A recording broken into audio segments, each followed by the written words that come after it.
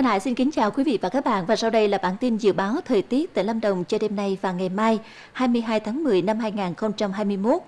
Thưa quý vị và các bạn, trong 24 giờ qua, thời tiết của Lâm Đồng chủ yếu là mây thay đổi đến nhiều mây, ngày có nắng gián đoạn, chiều tối và đêm có mưa rải rác đến nhiều nơi và có nơi có mưa vừa, gió Tây Nam cấp 2. Trong 24 giờ tới thì tỉnh Lâm Đồng sẽ chịu ảnh hưởng của rì phía Bắc rãnh áp thấp có trục ở khoảng 4 đến 7 độ vị Bắc. Với hoạt động của gió mùa Tây Nam có cường độ yếu, do vậy thời tiết trong tỉnh sẽ có khả năng như sau. Khu vực phía Bắc tỉnh bao gồm thành phố Đà Lạt, huyện Lạc Dương và Đam Rông.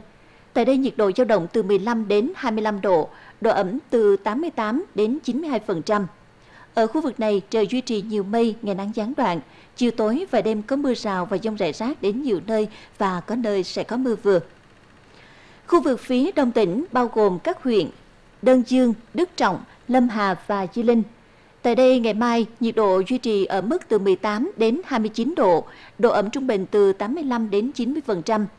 Ngày mai nắng gián đoạn, Tuy vậy thì mưa sẽ trở lại vào chiều tối, có thể là mưa rào hoặc dông rải rác đến nhiều nơi và có nơi sẽ có mưa vừa. Khu vực phía Nam tỉnh bao gồm thành phố Bảo Lộc và huyện Bảo Lâm, nhiệt độ dao động từ 19 đến 31 độ, độ ẩm trung bình từ 88 đến 92%.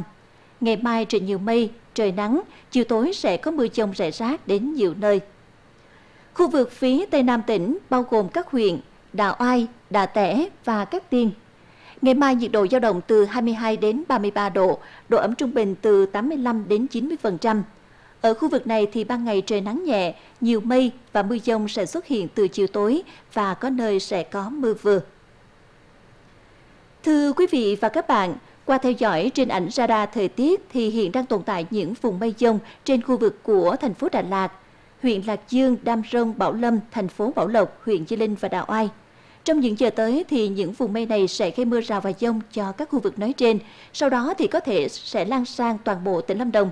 Trong cơn dông, chúng ta cần đề phòng mưa lớn cục bộ kèm theo tố lốc xét và gió giật mạnh. Cảnh báo cấp độ rủi ro thiên tai do lốc xét ở cấp độ 2. Còn sau đây sẽ là dự báo thời tiết tại một số thắng cảnh, khu điểm du lịch chính của tỉnh Lâm Đồng và một số tỉnh thành trong cả nước. Cảm ơn sự quan tâm theo dõi của quý vị và các bạn.